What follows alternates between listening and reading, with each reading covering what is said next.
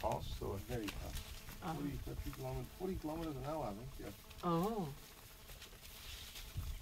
10 meters per second, basically. You wouldn't think that uh, because they are so big. Yeah, you don't believe it, but yes, look at that looking at us there.